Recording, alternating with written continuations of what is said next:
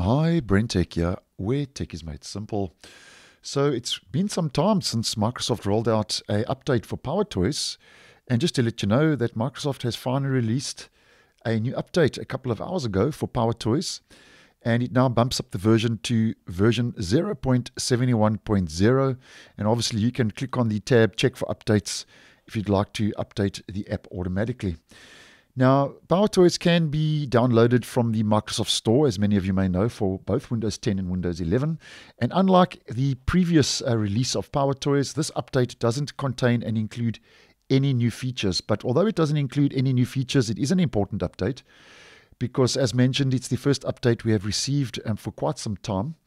And um, it does include improvements for existing utilities and tools and it also um, rolls out with numerous fixes because it is a major version upgrade. It does include a whole lot of and plenty of bug fixes and other general improvements.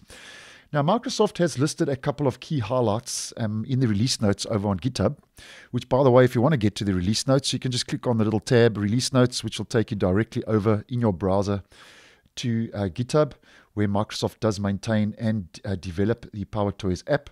And the first key highlight is for Peek. And Peek is a tool which rolled out in a previous update, which is a quick and easy way to preview files.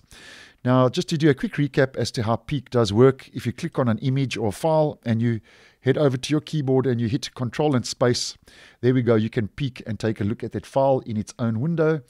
And there is now support for previewing archive files with Peek. So over and above your normal images and files, you can now preview archive files, which I think is a nice move in the right direction. Now, another um, key highlight that has rolled out is for PowerToys Run.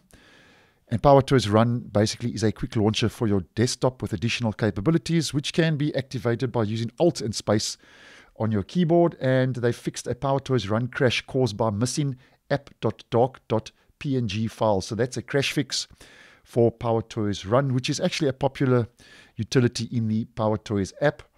And then if we head over to another recent tool which was added to PowerToys recently, uh, it's the registry preview, which is a quick a little utility to visualize and edit complex Windows registry files. And just to let you know now that um, Microsoft has added a setting to set registry preview as the default app for opening .reg files. So here we go, default app make registry preview default app for opening .reg files. So with that toggled on now, obviously it opens up um, .reg files as the default app. Now, something else to take note of, um, the settings app, and this is quite a big update for PowerToys if you are using uh, Windows 11 and running PowerToys on Windows 11.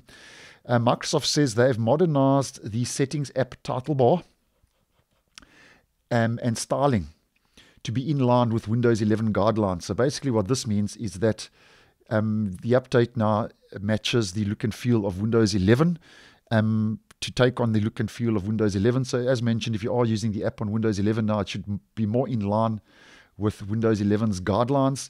And that means you now you get Mica background material effects and so on. And just by the way, if you are running Power Toys on Windows 10, you will not see uh, the modernized settings improvements as mentioned today in this video, only available for Windows 11. Now, with the key highlights out of the way, just to mention a couple of um, general bug fixes, just to um, keep you updated and in the loop.